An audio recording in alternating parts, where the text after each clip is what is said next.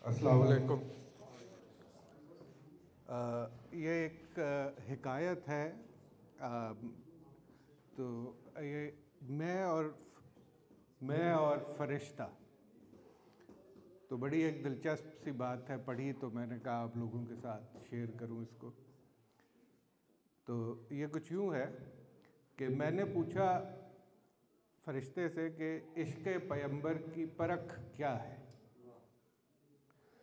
تو فرشتے نے کہا، سراپا شرمندگی شرمندگی شرمندگی۔ اور اس دعوائے عشق کے قابل نہیں ہوں میں۔ یعنی میں یہ دعویٰ ہی نہیں کر سکتا کہ عشق پیمبر ہے مجھے۔ میں نے کہا، پھر اظہار عشق کا طریقہ کیا ہے؟ تو اگر یہ دعویٰ نہیں، تو اظہار کیسے کریں عشق کا؟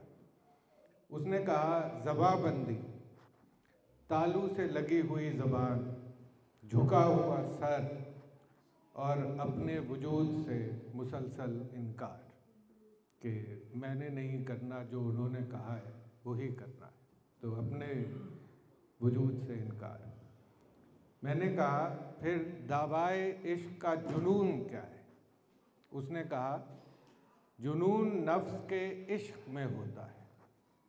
عشق پیمبر میں نفس سراپا شکست ہوتا ہے کہ اپنے نفس کو ہرائیں گے تو عشق پیمبر ہو سکے گا۔ میں نے کہا عشق پیمبر کا حصول کیا ہے؟ اس نے کہا، بار بار کی تہی دامنی، کہ اپنا دامن بار بار خالی کرنا۔ دامن خالی ہوگا تو پھر بھرے گا بار بار۔ میں نے کہا، عشق پیمبر کی راہ کیا ہے؟ اس نے کہا، خلق خدا سے عشق، کہ اشرف المخلوقات میں ہے راز عشق.